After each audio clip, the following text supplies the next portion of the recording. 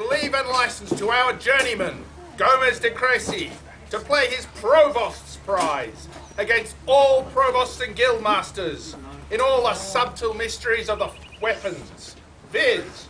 sword and cane, single sword, sword and cloak, sword and rotella, and sword and dagger. Said candidate is present today to press his uttermost towards the achievement and bearing away of the prize. Long live the crown of Lochac! Long live the crown of Lochac!